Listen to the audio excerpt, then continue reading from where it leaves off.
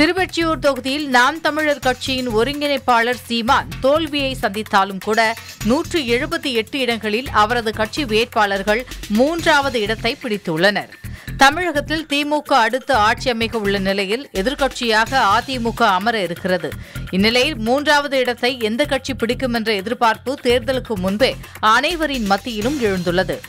இந்த தேர்தலில் ஐந்து முனை போட்டி நிலவியதால் மூன்றாவது இடத்தை அமமுக கூட்டணி பிடிக்குமா அல்லது கமல்ஹாசனின் மக்கள் நீதி மையம் கூட்டணி பிடிக்குமா என்று பரவலாக விவாதிக்கப்பட்ட நிலையில் இருநூற்று முப்பத்து நான்கு தொகுதிகளிலும் தனித்து களம் கண்ட நாம் தமிழர் கட்சி அதிக இடங்களில் மூன்றாவது இடம் பிடித்து கவனம் ஈர்த்துள்ளது.